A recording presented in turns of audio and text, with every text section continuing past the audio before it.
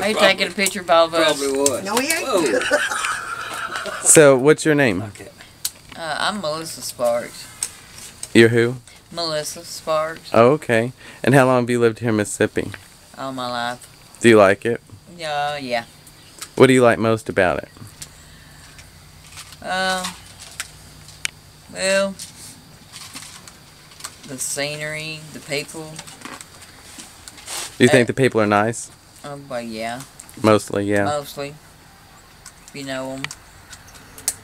I mean, there's some. Oh, you got those folks everywhere. So, Why do you think people here don't like Obama? personally, I like Obama. What do you like about him? Um, well, considering the candidates we got running now, like Mitt Romney, all he is is uh, for the rich folks. He's done said that, and the other man, Newt Gingrich, uh, he he's not Speaker of the House anymore, and that was for a good reason. Uh, I don't agree with a lot of the things he does, but I mean, he came into a mess. He didn't make this mess. Bush made the mess. I mean, Well, there's a saying I think I read on the interve- internet, and I'm, I'm not saying this is necessarily how I believe, but I, I found it to be funny.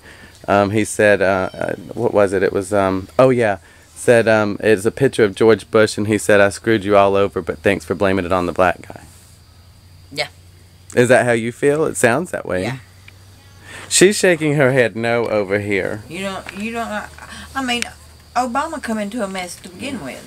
And he made it a bigger mess. Well, he may be making a bigger mess, but I mean, he is. I think it takes more than four years to clean up a mess. That's Alright. my, You that's my Well, well, well, the mainest thing, mainest thing, you, you got uh, America is supposed to be founded on God, God-fearing country. Yeah. Here you got a Muslim coming in here trying to take over. That don't work. And how is he a Muslim? Because he's a Muslim, the way he's raised. He said he was. Right. I mean, he it out of his own mouth. He said he was a Muslim.